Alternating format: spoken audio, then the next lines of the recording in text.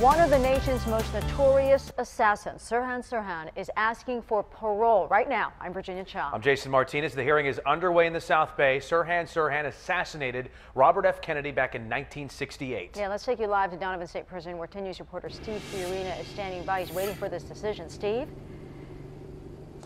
The uh, parole hearing began at 8.30 this morning, deep within the uh, confines of Donovan State Prison here. This is the first of his parole hearings at this location. He was transferred here about two years ago. He had been at a number of others.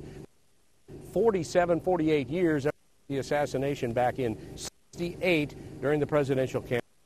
Today, the uh, parole board is listening to and also listen to several witnesses as they the, uh, the uh, panel whether to uh, release him or not. Several possibilities if he is released. At his last parole, he had said he would like to go to Palestine or any other Arab country that would take him. He uh, also has a brother living in Pasadena, however, so that is certainly a possibility. He's not necessarily to be deported if he were to be granted uh, parole. Now, also, uh, they're talking about the specifics of the crime. They are not retrying the case, but they are talking about the, uh, the um, assassination of Senator Robert F. Kennedy. This was back in 68, the presidential primary. It was five years after his brother had been assassinated, and Bobby Kennedy was on a campaign trail, had just won the California Democratic primary, and said, It's on to Chicago and let's win there. That's where the Democratic is to be, but he was never to make it because of his assassination that day.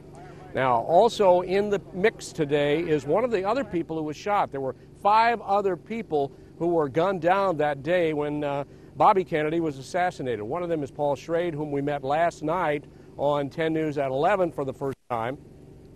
He is trying to get Sirhan to be paroled because he is not convinced that he's the one who pulled the trigger. We'll go more deeply into his thoughts on that at 1130. Live at Donovan State Prison, Steve Fiorina, 10 News. Uh, Steve, how long is today's hearing process expected to take? That's a really good question because they won't, they won't speculate. The last one went four hours and five minutes. This one may be a little different because we do have Schrade's testimony where he claims he has new evidence. So we will uh, stay with it, of course, and we will be bringing you information as soon as it's done. But we can get nothing from out of that room until the uh, hearing is finished and the decision is made.